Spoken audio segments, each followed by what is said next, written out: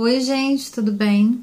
Vim aqui gravar um vídeo para vocês no improviso. Eu vou enviar ele assim mesmo, sem edição. E quero contar para vocês um pouquinho das coisas que vem acontecendo aqui em Curitiba com a gente, comigo e com as crianças. O Elbson, ele não tá trabalhando aqui, assim, aqui pertinho, pertinho. Ele tá trabalhando é, na região dos lagos daqui, graças a Deus mas ele só vem finais de semana ou a cada 15 dias. Isso está sendo realmente muito difícil para mim. É, eu tô tendo muito problema é, devido às crianças ficarem muito doentes aqui, com muitos problemas respiratórios. Eles vieram usar a bombinha aqui que nunca usaram na vida Pedro teve bronquiolite, fizeram fisioterapia respiratória, o Pedro duas vezes, a Sara uma vez. Logo que a gente veio para cá, é, uma semana antes do carnaval, mais ou menos, na semana do carnaval eles ficaram internados, ficaram, pegaram uma infecção bacteriana aqui do nada. Todo mundo fala, ah, o clima é muito diferente, né? Existem vários é, vírus, bactérias e tal, aéreos, e que o organismo não está acostumado, o sistema imunológico, coisa tal, tal, tal. As crianças estão aqui. E, e aí ficaram internados uma semana. A Sara agora há, duas semanas atrás, ou um pouco menos, ela também ficou bem doente agora, com infecção também. Além de pus na garganta, ela já teve duas vezes, já teve no ouvido. Então, assim, quando não é a Sara doente, é o Pedro. Quando não é o Pedro, são os dois. E, e, eu sempre andando com eles em médico, sem brincadeira, eles não ficaram bem aqui, bem, duas semanas, duas semanas inteiras. Ou é tosse, ou é alguma outra coisa. Agora o Pedro está fazendo um tratamento para fortalecer a imunidade. Eu tive que tirar ele da escolinha, já tem mais de três meses que eu tirei ele da escolinha, que ele não vai mais. E, e tá sendo muito difícil isso, porque assim, ele gosta, entendeu? É uma coisa que eu preciso privar ele no momento por conta da saúde dele. E, e aqui é eu andando de Uber com as crianças, faça chuva, faça sol, o clima aqui realmente é muito diferente. Você acorda, um dia tá 23 graus, o outro dia tá 7. E, e chovendo, vento, vento aqui é muito gelado. Ah, eu tenho que ir. Eu coloco a Sara no canguru, o Pedro, quando quer cola, eu tenho que pegar. A gente tá sempre andando de Uber, a mochila e vambora, sabe? Não tem jeito. É, e isso realmente está me deixando muito triste de ficar aqui, de morar aqui. Mas no momento, infelizmente, não tenho outra opção. É, a gente está indo para o Rio de Janeiro amanhã, graças a Deus. E a gente só volta para cá em janeiro. É, em janeiro, amanhã é dia 23 de agosto. E tem o casamento da minha irmã, da Paíla, em dezembro. Paíla vai casar, tô muito feliz. E vai ter o chá de panela dela, vou passar um tempo na minha sogra, é, lá em Macaé, um tempo no meu pai, na minha mãe, é, ver minha cunhada, enfim. Tem bastante gente lá pra gente ficar um cadinho aqui, um cadinho ali. e as pessoas estão muito felizes, assim, esperando a gente chegar. E a gente também tá muito feliz. É...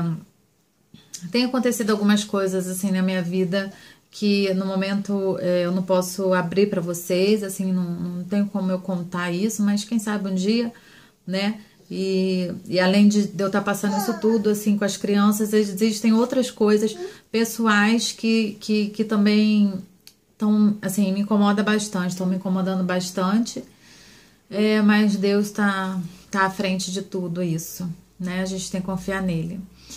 É, o que mais que eu tenho para contar para vocês? Que a gente vai para o Rio. É, cara, eu queria fazer muitos vídeos para vocês aqui, mas eu acabo ficando muito desanimada quanto a isso, sabe?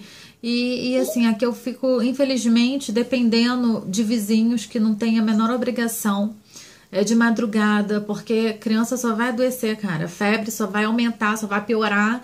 Você vai dar remédio, não vai passar. É lá para as 11 horas da noite, meia-noite, a noite toda, entendeu? E aí eu não tenho como deixar um, um aqui sozinho e levar o outro para o hospital, ou eu também não tenho como levar os dois para o hospital de madrugada, porque um vai estar tá dormindo.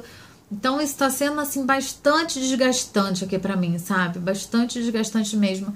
Curitiba é uma cidade tranquila, é uma cidade limpa. É... tem muitos pontos positivos aqui, né? O, o problema do Rio Maior, como eu já falei aqui, é a violência. E, mas o problema todo é o clima, que tá muito difícil de, de se adaptar, sabe? Pedro tá fazendo tratamento agora, né, da imunidade dele, e após se estabilizar todo esse sistema dele imunológico que tá com, com deficiência, ele ainda vai ter que ficar seis meses sem ir para a escola. Então, provavelmente ele só vai voltar a estudar ano que vem, no meio do ano. E, e a Sara nunca foi, né, para a escolinha. Ano que vem também ela não vai. O que eu puder privar ela, eu vou privar. Mas, é, e o Pedro fazendo esse tratamento, sabe? Já fui aqui muitos médicos, pneumologista, é, pediatra, graças a Deus encontrei uma boa aqui, ótima, assim, que me dá atenção de madrugada, a qualquer horário, sabe? Então, isso não tem preço. A gente que tem criança pequena, cara, a gente precisa de uma assistência 24 horas mesmo. Porque emergência, né? A gente não escolhe, é emergência. É, otorrino, laringologista, muitos, muitos médicos, cara. Isso me chateia bastante. É, eu vou vir. A gente vai tá voltando em janeiro para cá.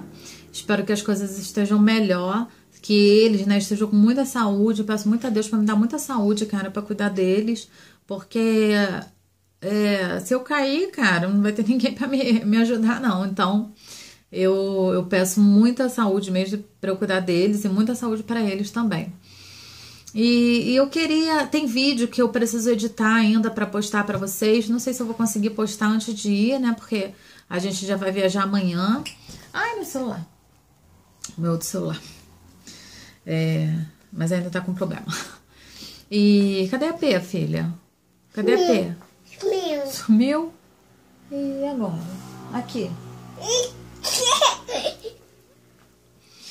É, então não sei se eu vou conseguir postar para vocês. Tem um vídeo do zoológico que eu quero muito postar para vocês que a gente foi aqui. É, tá muito legal. Tem o vídeo também do aniversário do Pedro de 3 anos na escolinha. Eu ainda não consegui. Bem na hora do parabéns, a professora não conseguiu filmar. Ela apertou o botão para pausar, sei lá o que, que aconteceu, e ela achou que tava filmando e eu não tava. Tem o vídeo também do tour aqui do apartamento que eu fiz para vocês. Espera aí. Enfim, não sei o que, que eu vou conseguir postar para vocês, mas o que eu conseguir eu vou postar.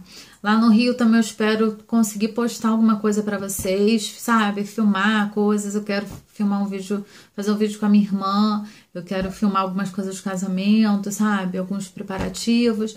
Vai ter o aniversário do meu sobrinho agora em setembro, de um aninho lá em Macaé. Eu vou estar tá lá. E, e, é isso, eu acho que esses são os últimos acontecimentos, sabe? Não tem muita coisa assim é, para falar, porque realmente a gente não sai de casa, a gente só fica em casa mesmo.